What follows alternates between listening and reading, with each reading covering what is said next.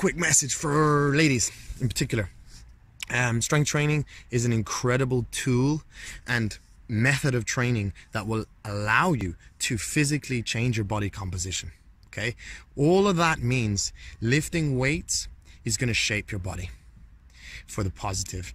And when we talk about just doing cardio, you're boxing her off to get only one type of physique and one result.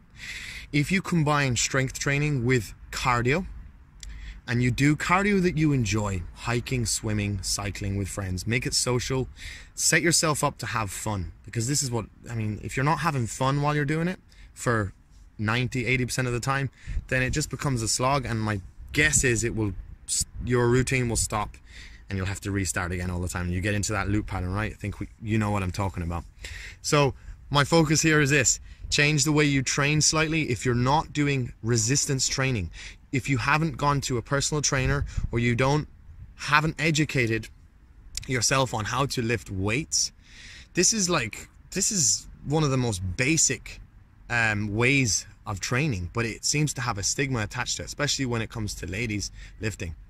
Um, so you know let's let's let's uh, let's have an open mind right now. I'm just inviting you. I'm putting an invite out there to include and take up uh, strength training resistance training, uh, muscular endurance, whatever way you want to put it. But it'll have a, um, a body compositional impact on your body, so you'll see shape within your body. But you're going to increase testosterone, which will help you make decisions quicker and with more purpose behind them. Um, you'll have a better outlook. You know, like I, I know from my own experience of lifting weight, it not only helps me with my physical goals, like shaping goals, but it puts me in a in a great mood. And when you combine it with and by the way, it's not as hard as it seems because it, it, the outside looking in, it looks like it's a whole weird alien universe of like, oh, it's only for those kind of people, Do you know. But if you if you consider it, it will really help you. That's my point. Um, and then you mix it with cardio. You get your nutrition right. You get enough sleep.